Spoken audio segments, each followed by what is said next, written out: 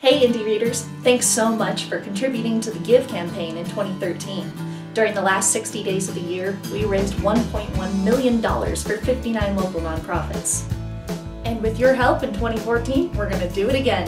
That's right, Claire. But in the meantime, don't forget to tune in to Fox 21 News, 9 p.m. on Wednesday, January 29th to find out who won this year's Heuberger Subaru Crosstrek as part of the Give campaign. We want to thank Heuberger Subaru for driving us to discover all the great things about our community. You can check them out at bestbuysubaru.com. For the Indy Minute, I'm Jack Ward.